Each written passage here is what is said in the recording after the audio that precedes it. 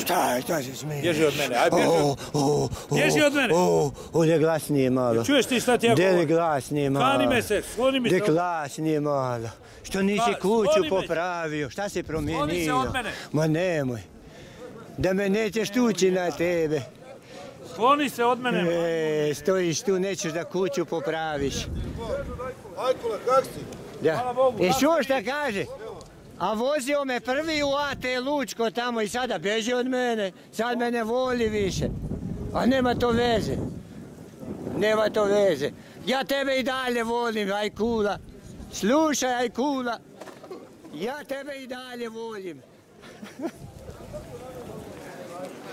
A kako si se iznenadio, kako si se ucviko.